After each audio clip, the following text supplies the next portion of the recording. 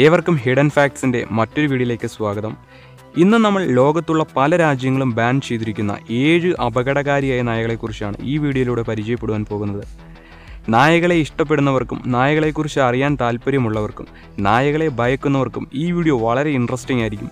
So video skip ചെയ്യാതെ മുഴുവനായി കാണുവാൻ ശ്രമിക്കുക. ദ ബ്രസീലിയൻ മാസ്റ്റിഫ് ബ്രസീലിലുള്ള ആളുകൾ ഈ നായകളെ ഫില ബ്രസീലിറോ എന്നാണ് വിശേഷിപ്പിക്കാറുള്ളത്.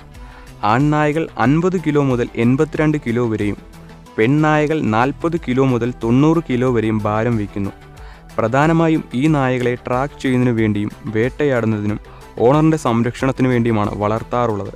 ഈ നായകൾ ഇതിന്റെ ഓണറിനും ഓണറിന്റെ ഫാമിലിക്കും പൂർണ സംരക്ഷണം നൽകുന്നവയാണ്. അതുകൊണ്ട് തന്നെ ഇവ ഓണറുടെ ഫാമിലിയോട് വളരെ ഫ്രണ്ട്ലി ആയിരിക്കും.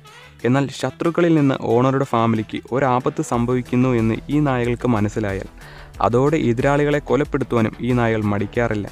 അതുകൊണ്ട് തന്നെ ഈ നായകളെ ഡെൻമാർക്ക് യു കെ നോർവേ പോലുള്ള രാജ്യങ്ങളിൽ ബാൻ ചെയ്തിരിക്കുന്നു. The Czechoslovakia wolf dog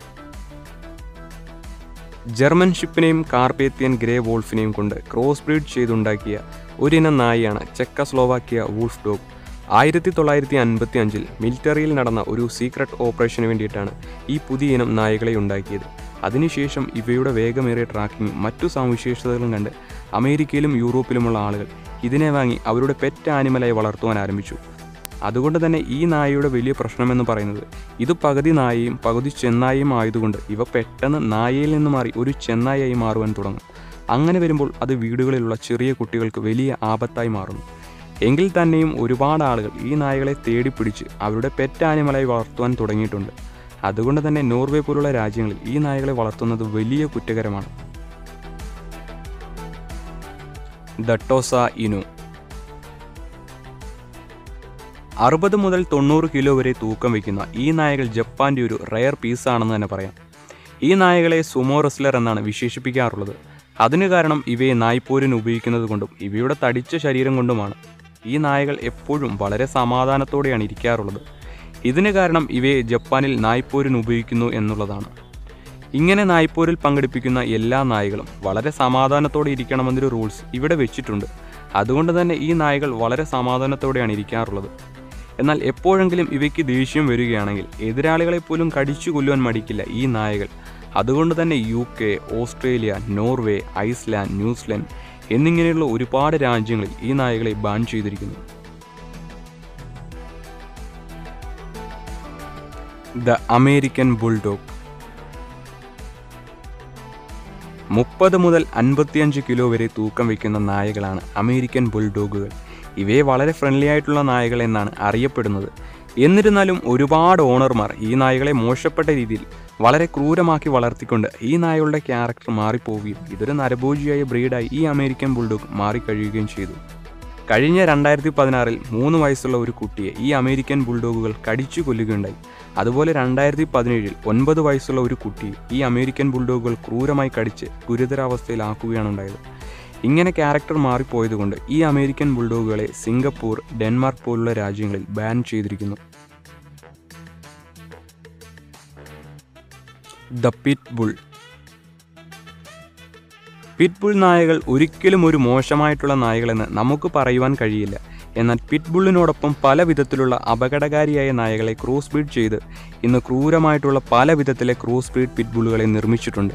ഇങ്ങനെ നിർമ്മിച്ചിട്ടുള്ള പിറ്റ്ബുള്ളുകൾ എപ്പോൾ വേണമെങ്കിലും അപകടകാരിയായി മാറുന്ന തരത്തിൽ ക്രൂരമായി കൊണ്ടിരിക്കുന്നു അതുകൊണ്ട് തന്നെ പിറ്റ്ബുൾ നായകളെ യു കെ പോലുള്ള രാജ്യങ്ങളിൽ ബാൻ ചെയ്തിരിക്കുന്നു.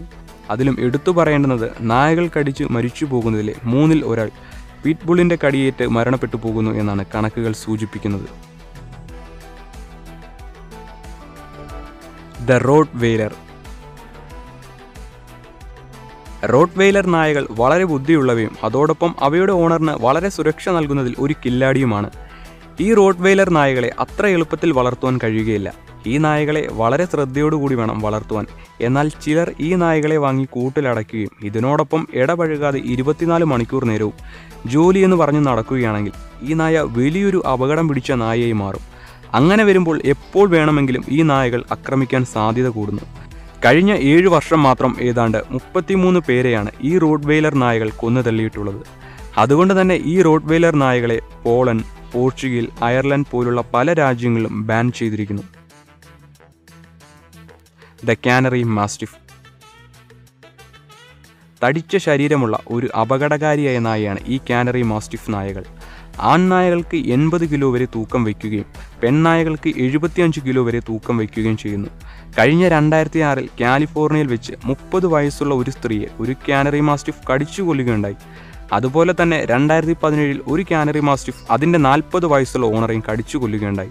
അതുകൊണ്ട് തന്നെ ഈ കാനറി മാസ്റ്റിഫിനെ ഓസ്ട്രേലിയ ന്യൂസിലൻഡ് പോലുള്ള രാജ്യങ്ങളിൽ ബാൻ ചെയ്തിരിക്കുന്നു. ഈ നായകളിൽ നിന്ന് നിങ്ങൾക്ക് ഏറ്റവും അപകടകാരിയായി തോന്നിയ നായകളുണ്ടെങ്കിൽ തീർച്ചയായും അത് കമന്റ് ബോക്സിൽ അറിയിക്കുക.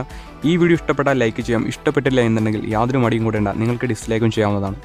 എങ്കിൽ നമുക്ക് മറ്റൊരു വീഡിയോയിലൂടെ കണ്ടുമുട്ടുന്നത് വരെ ഗുഡ് ബൈ